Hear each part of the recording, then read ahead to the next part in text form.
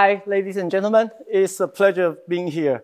I really envy you so much because I guess you're either sitting there or even lying on the sofa, but I have to stand here and tell you the truth. I haven't had my dinner yet.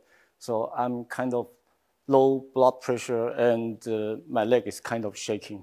So if I look absent-minded, please bear with me. And welcome to the 2020 International Sports Affairs Training Course. This is the 10th year we offer this course. This course is totally designed by the Chinese Taipei Olympic Academy. This academy was founded 42 years ago because our effort and we worked so hard. And last year we won the Athena Award. And the award really encouraged us because we feel our effort and our contribution being recognized. So I would like to be here to share with the joy. Okay, have to start the course. And before I really start the course, let me warn you first. You might want to push the pause button first and take a five minute break to get a coffee or even a Red Bull because for the following two hours, this is going to be very, very, very boring. Why I say this is going to be very, very boring? Because I'm going to telling you about the history, the politics, anything you don't like. And I guess nobody likes that. And there are laughters and there are also tears, a lot of tears in there.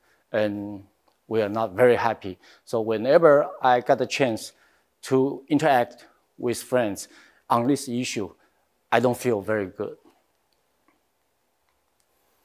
So this is the International Sports Affairs Training Course. I think you guys are very lucky to be here because there is so much effort being put in the training course and the lecture we invited this year is excellent. It's really excellent, except me, of course.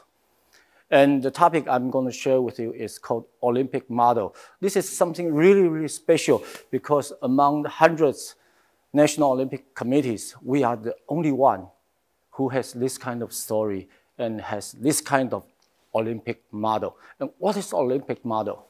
Before I go this, before I go this, let me share with you the overture of the story. So I call it this Olympic Committee. Why I call that this Olympic Committee?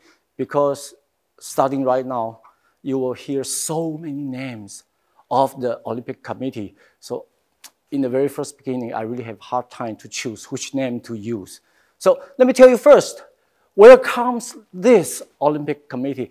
This Olympic Committee was founded actually 1922. 1992 was almost 100 years ago. Actually, next year will be our 100th birthday. So feel happy for us.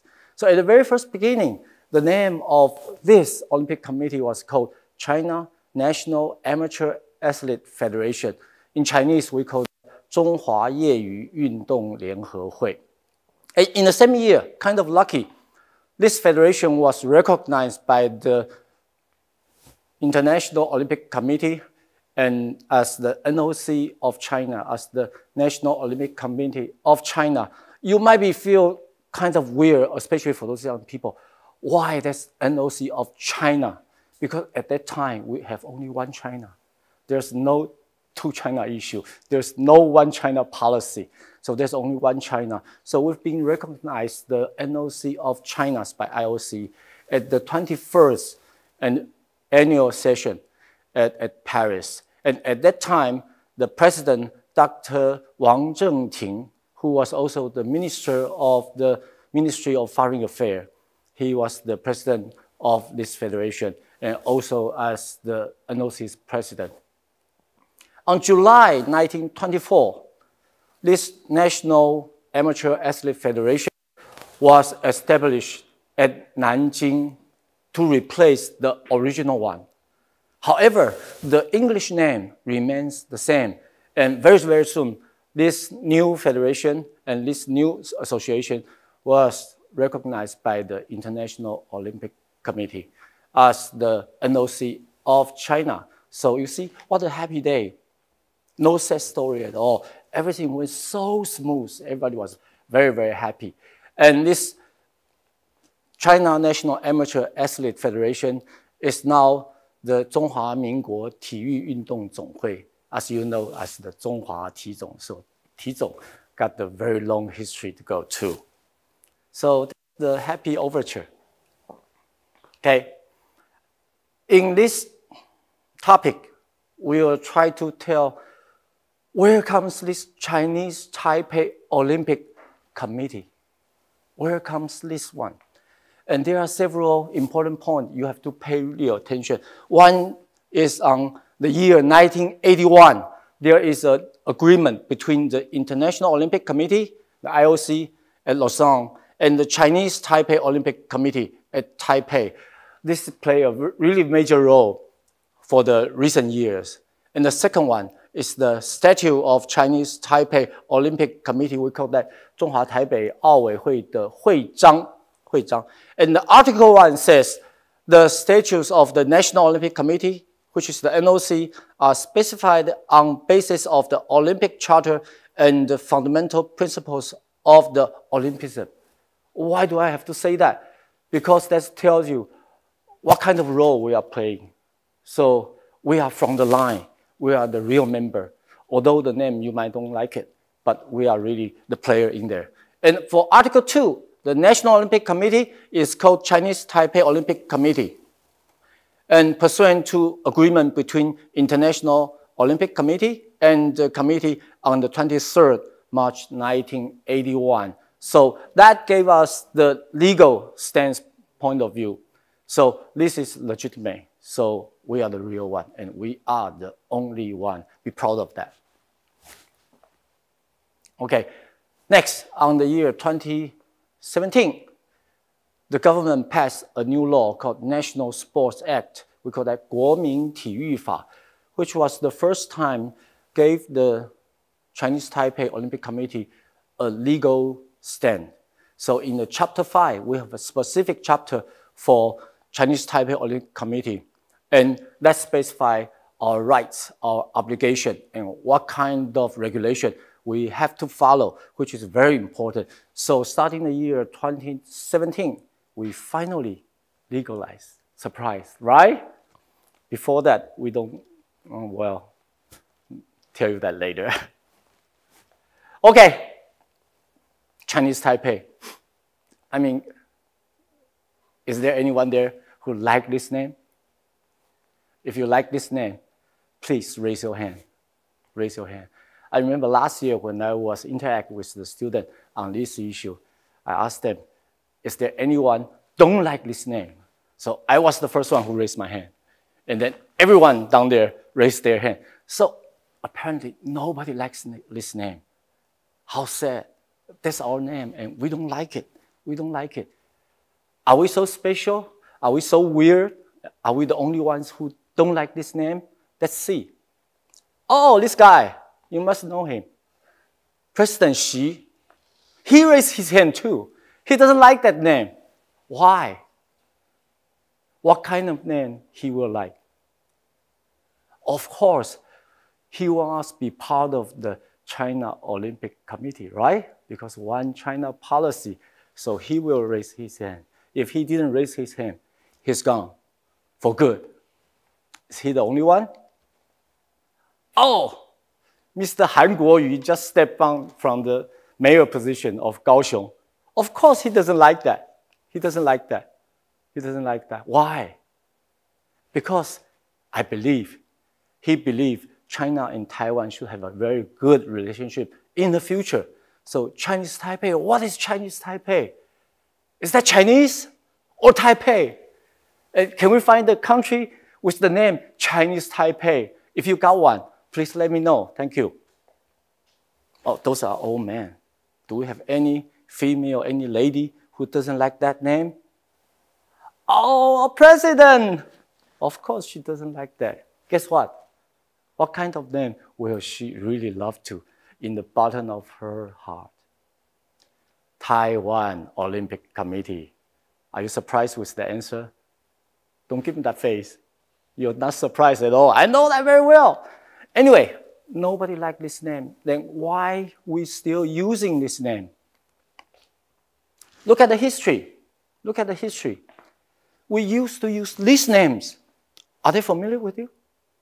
Republic of China, how proud of that. That's the official name of this country, Republic of China. We used that name before. I'll show you later. We also use the name Taiwan.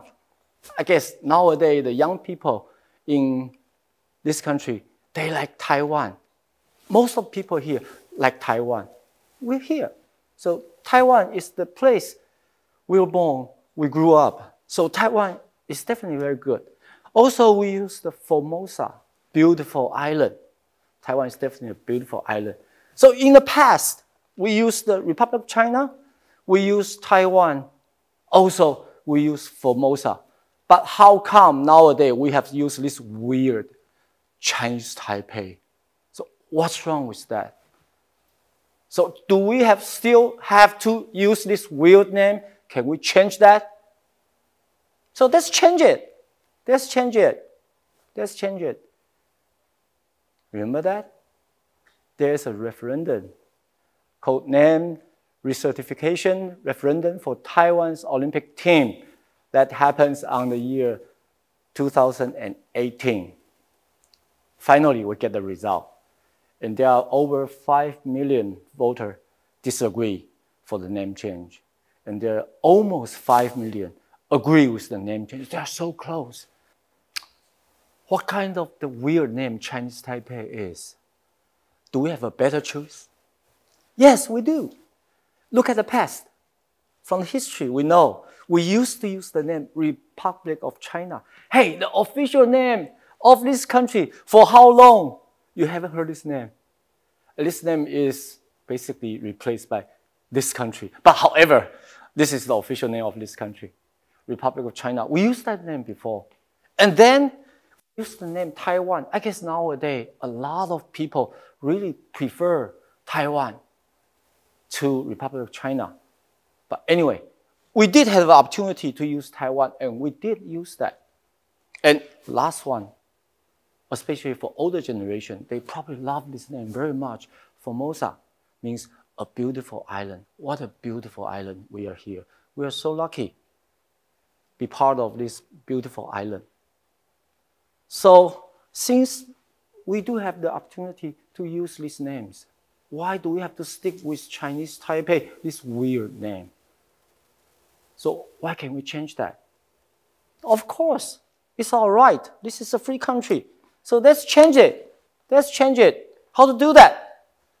See, in the year 2018, there's a name rectification referendum for Taiwan's Olympic team. Some people, they believe Japan is so friendly to us and the 2020 Olympic game, well, it's deferred to the 2021, but still called the 2020 Olympic Games, will be held in Tokyo. And some of our Japanese friends suggest us, why not use this opportunity to change the name? So they took the suggestion and brought that issue for a referendum vote. Well, on early morning of November 25th of 2018, the result comes out, and there are over 5 million people vote for disagree. They want to stick with the Chinese Taipei. But look, there are also very close to 5 million voters. They agreed the name change. Among all the referendum voting, this is the one has the closest result. So this is this time. Anyway, the result here, we have to stick with the Chinese Taipei, Zhonghua Taipei. But what's wrong? What's wrong? Um, are, are those five million people brain damaged? They don't like the name. Why did they vote for disagree? Why? Very difficult to get it, right? Let's see why. Before we get into this story, spend a little bit time to talk about the Olympic movement. Olympic movement. So in order to be part of the Olympic movement, you have to be part of the Olympic family who got the right to become a member of the Olympic family. First, Olympic family, the big brother, or we say the father or mother, the big brother is the International Olympic Committee. And down under, we have the Continental Olympic Committee For example, like OCA, Olympic Council of Asia, and also we have some other non-government organization, NGOs. And then we have one of the major roles, National Olympic Committee, we call NOC. In Chinese, we call that 国家以及地区的奥会. So why this country and area, for example, Hong Kong is a member of IOC. And Hong Kong is not the country. So it was counted an area. And how about us? How about us? Oh, there's something very interesting. You'll find out. And uh, IOC is full of wisdom to deal with this issue. We'll get to that very quick. Okay, so this is core of IOC. Who's in the core? Who plays the core role or the major role in the IOC? Oh, it's moving. It's very dynamic all the time. So because the, the world is full of surprise. Okay, for the IOC, the major player is the member. And it is regulated. The number of members has to be less than 115. And of course, there's an executive board. So you have to become a member and then elected to the elect executive board. And then there comes the big brother of president, President Bach. President Bach. Oh, very nice gentleman. I met him several times. Of course, he, he didn't know me. I, I know him very well. And there, of course, the administration party in that office, they're located in Lausanne. And all the people there, they are so knowledgeable, work very hard. And for those people, they deal with the whole world. I think they're a lot busier than most of the Ministry of Foreign Affairs in a lot of countries. Well, they're the hero without sounds. So show them our respect. They are great. They are great. So this is the inner circle. This is the inner circle. So who comes to the next? Who comes to the next? Okay, there's called Olympic Solidarity. It's a foundation. So there is a lot of money there. But IOC is very rich, very rich. Why the IOC has to be so rich? Because the IOC need a lot of funding to support those poor countries. So the poor country can have the equal opportunity as those rich countries to raise their athlete, to have the opportunity to participate in all those games. So of course, IOC needs money. And although they are good, they are good. They are really good, trust me, trust me. So if you want to learn some business model, learn the IOC model. Not too many people knows about that. They're great. Oops, I say something I shouldn't say, I guess. And of course, there are commissions and uh, working groups because they have to deal with some many special issues. So there are some commission and special groups, and uh, they're holding several several meetings every year. So the the whole IOC body, the members, they are very very busy. They flew here, there, everywhere. Everybody was so busy. It, it's a very tough job, but it's a great honor. It's a great honor but you have to work so hard. You have to work so hard.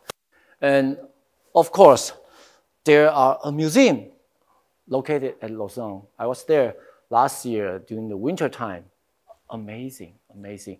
There are so much history in there, and there are so much technology in there, and you see the interaction before the ancient Olympic and the modern Olympic. They're everywhere. You have to go there once. You have to go there once. Otherwise, you'll be very sorry. You'll be sorry. So it's highly recommended. It's just on the lakeside. It's very beautiful. Now, of course, the building is beautiful too. So we've seen two circles of IOC already. Do you think that's the end of the story? No, no. We haven't seen any athlete. We haven't seen any NOC. We haven't seen any international sports federation. So here comes the third circle. So who's there? Let's see. Okay, first we see the International Sports Federation. Those are so important. There are so many international sports federation. They educated, they raise so many athletes, so make the world of athletes so colorful. So thanks to them. Who's there? Oh, organizing committee of the Olympic game. What's that?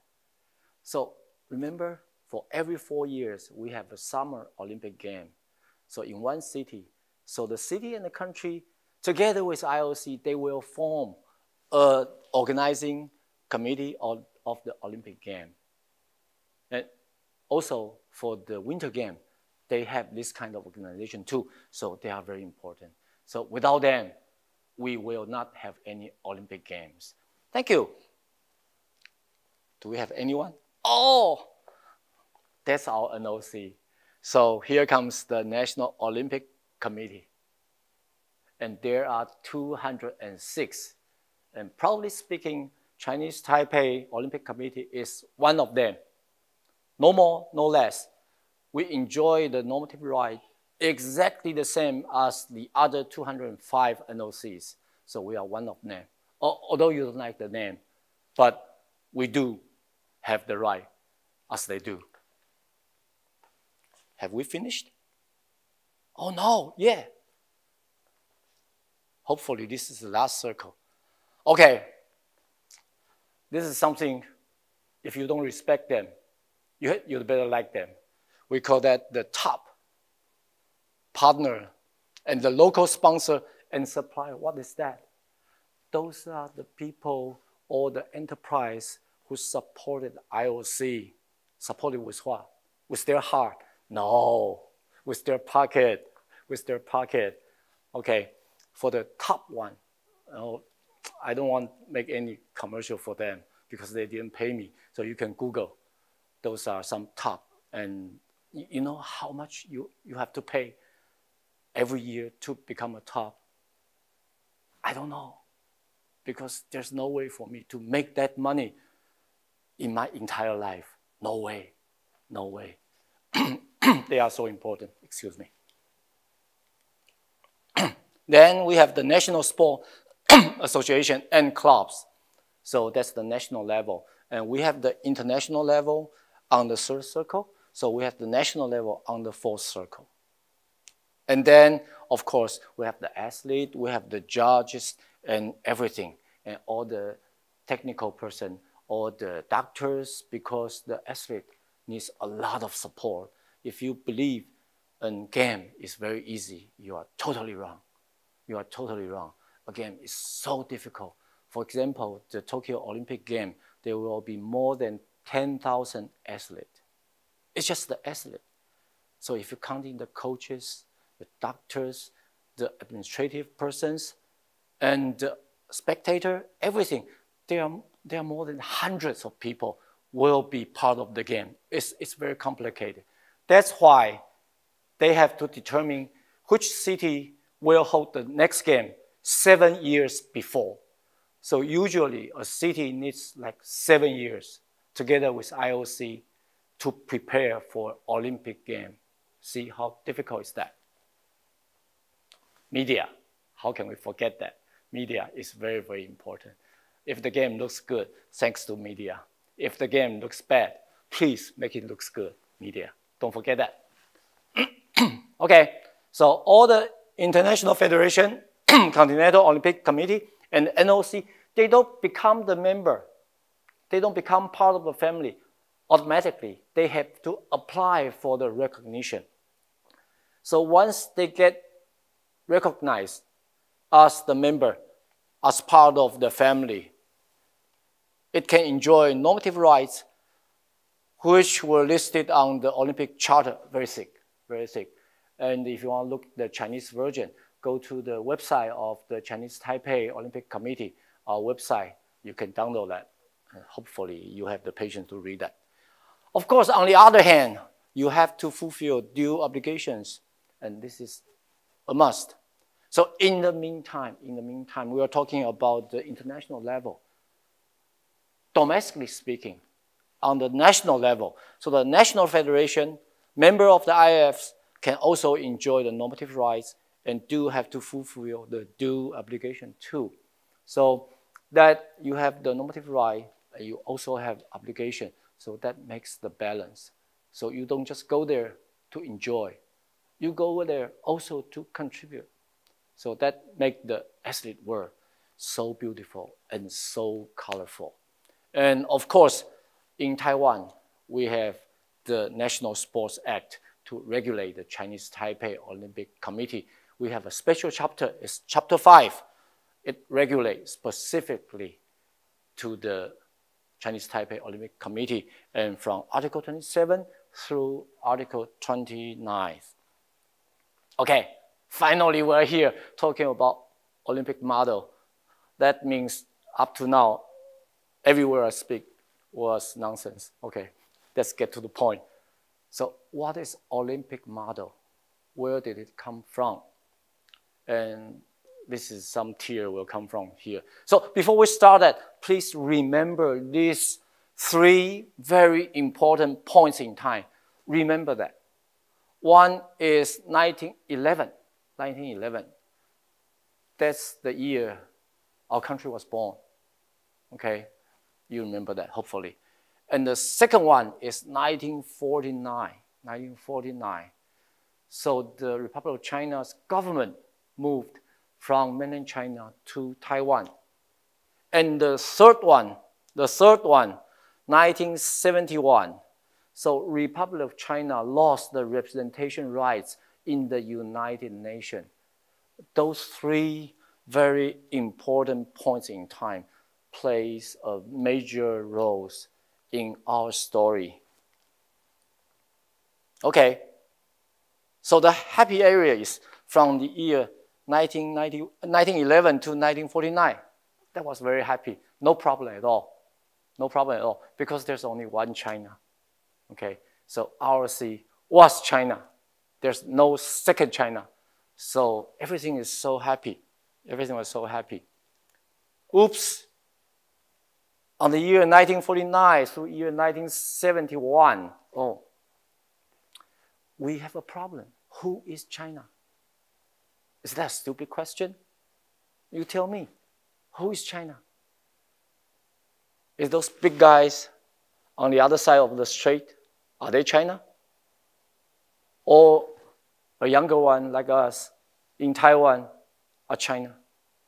So if you want to look this problem from the political point of view, from the historical point of view, from what kind of blood we have, and what kind of culture we have, am I confusing you? Yes, I'm trying to do that. So this is a very, very complicated problem. Who is China? Who is China? In 1949, like we just mentioned, the Republic of China government moved from mainland China to Taiwan. So there's a government there. And we have a government here. So who's China? Who's China? They believe they are China. And we strongly believe we are the real China at that time, at the real time. Okay? So this is really bad. But if you think this is bad enough, no. It's even worse. Starting the year 1971. Oh my God. Oh my God, for what? I'll tell you later. The worst one is right now. The worst one is right now. There's problem is who is China. At the same time, is who am I? Who am I? Tell me, who am I? So some of the people on this island believe we are Republic of China. But some people believe we are Taiwan. Of course, for some government official, they say we are Republic of China, Taiwan.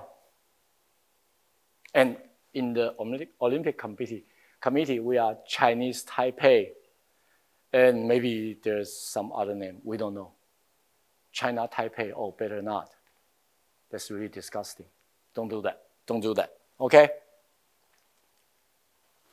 Olympic model. Okay, look at the year 1922. 1922.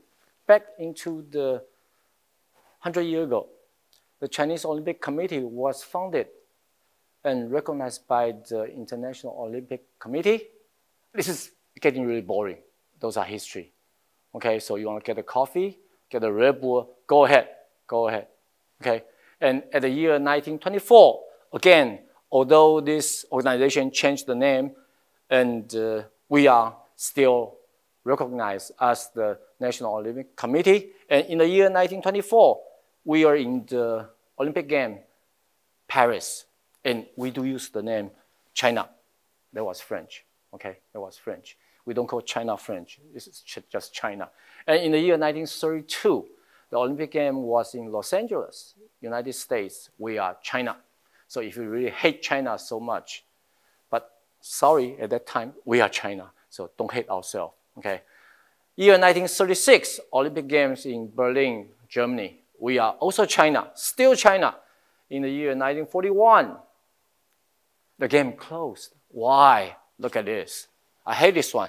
The Japanese invaded China, and we are only inches away from World War II. Remember that. Remember that.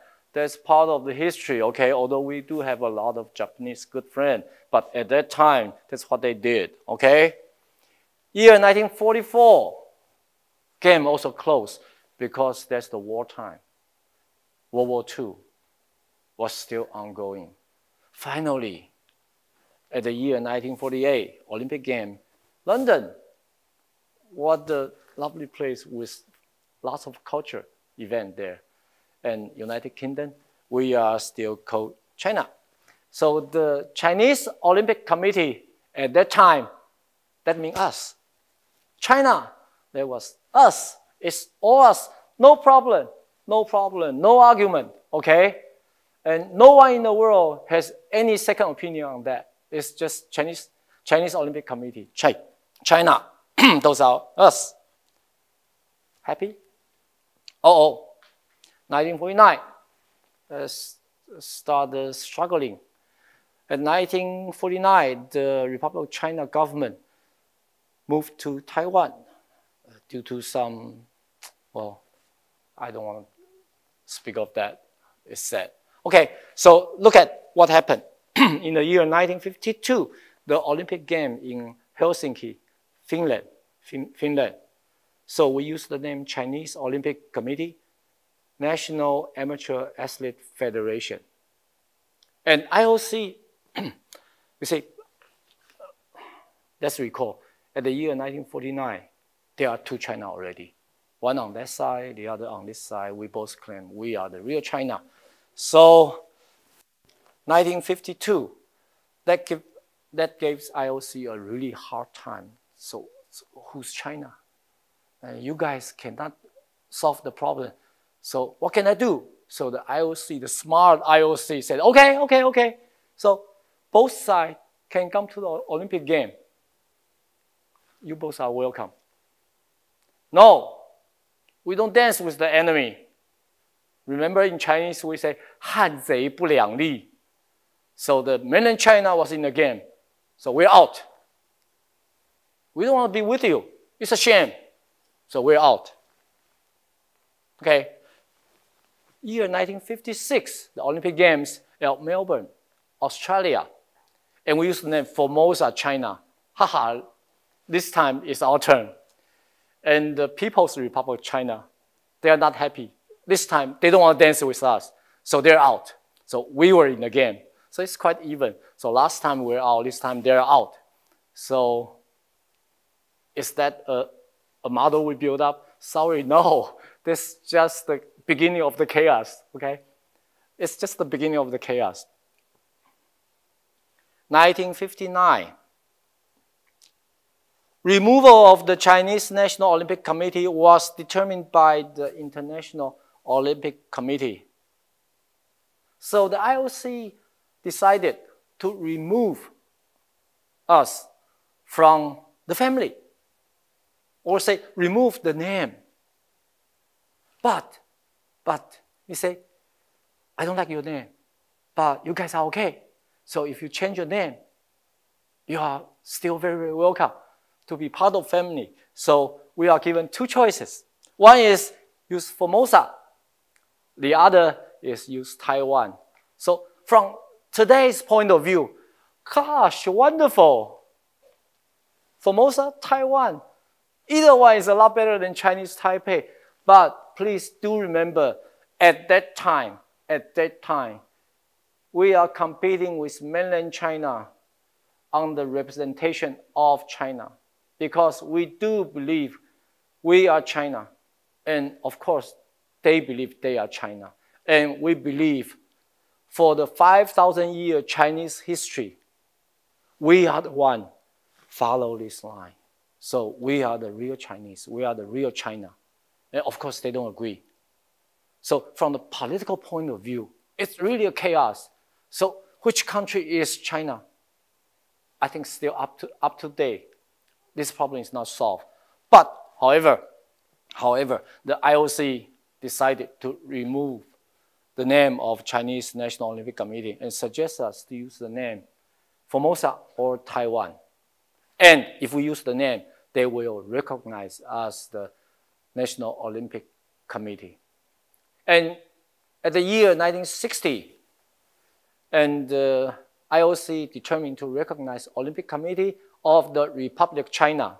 Oh, how nice! But, but, the point is here, but this Olympic Committee of the Republic of China didn't represent China and could use only the name Taiwan. Oh, how weird, how weird.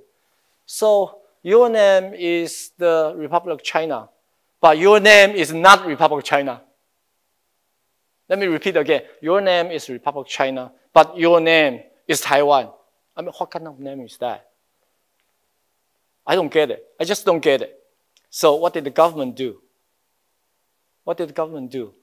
Of course, we don't, we don't take that. We don't take that. And it's kind of struggling and very difficult. So they ask you to change your name and tells you if you change the name, they will recognize you and uh, you can be part of the family again. You can participate the Olympic Games. In the year 1960, after some negotiation, the game, the Olympic game was at Rome, Italy, and we used the name Formosa. We used the name Formosa. But however, however, we don't like that, so we are under protest. So see this one? Under protest, under protest. So this is a very valuable photo. But tell, tell you the truth, are we, were we using the name Formosa? We are not 100% sure because the, we cannot find the official document. The reason we guess we use the Formosa is because France was behind us. So on the F, so we must be used the Formosa. That's why we say we are using Formosa and uh, under protest, under protest. Okay, year 1964, 1964. That was the Japan, the first time Japan in Tokyo held the Olympic game. And some of the arena and the venue used in that Olympic game are still there. I was there last year to visit all the construction and all the preparation for the 2020 Olympic Games. And they show us all the historic side. And even for one of the hotel on the beach side, it was there, 1964, and was used for the athlete village. And still there, of course, they remodeled, but how nice, you know, how nice. So 1964, we went to Tokyo and we used the name Taiwan you must be think, I mean, what does that mean? Taiwan and then Zhonghua Minguo.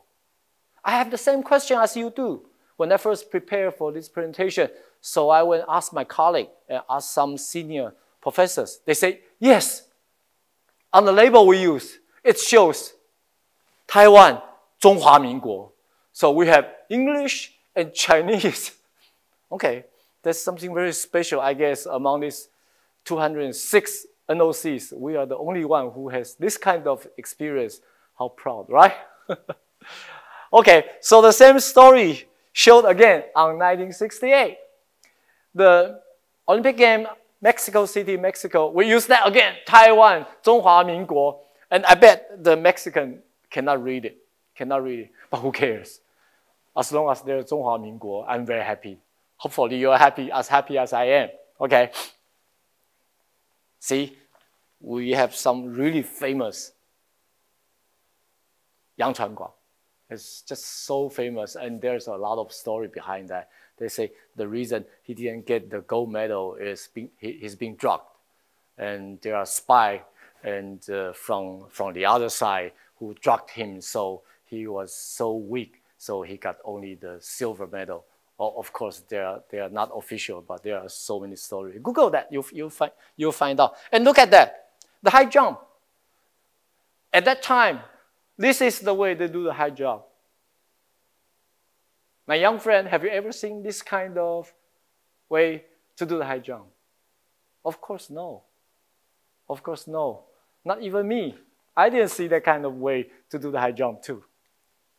Okay, year 1971. Oh, this is uh, something really, really huge. Really, really huge. We were kicked out, not kicked out, we lost the representation rights in the United Nations. What, what does that mean? That means we are not recognized by most of the country on earth as an independent country. Maybe, maybe it's, it's mean to say that, but frankly speaking, it's pretty much like that, pretty much like that. So even worse, our position was replaced by People's Republic of China. The other side, another, the other China. So this is really, really bad. Remember, up to now, starting the year 1949, up to now, what, what are we competing for? Cross the strait. What are we competing for? We are competing who was China. Who was China? Now we lost the representation right in the United Nations and being replaced by the other side of the strait.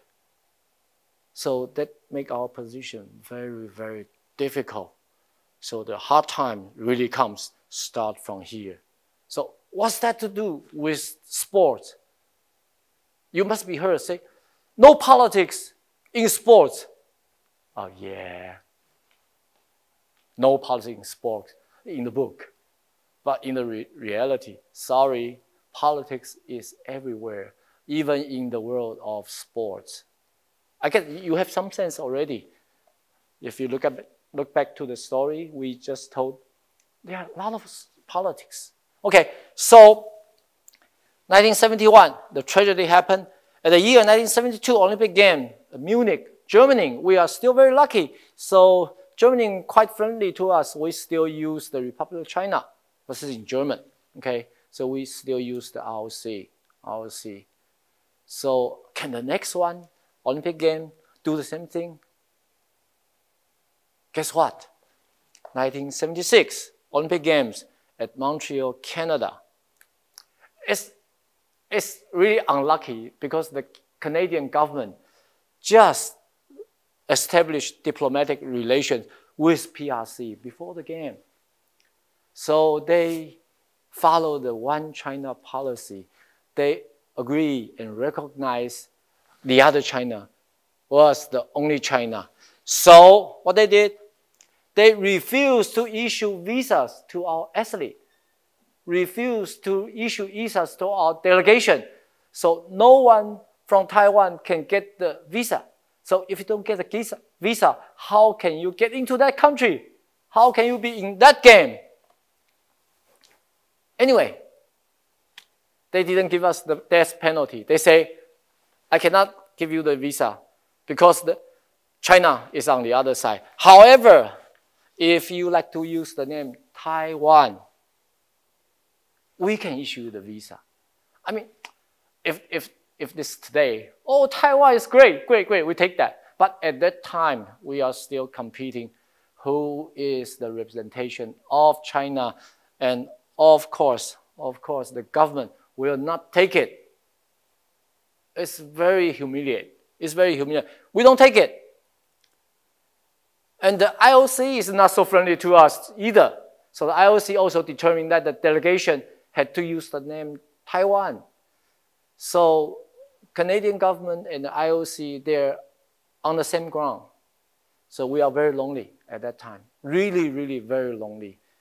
And what can we do? So the only thing we can do is to refuse. So we don't take that. We don't take that. The story gets even worse. On the year 1979, what happened on 1979?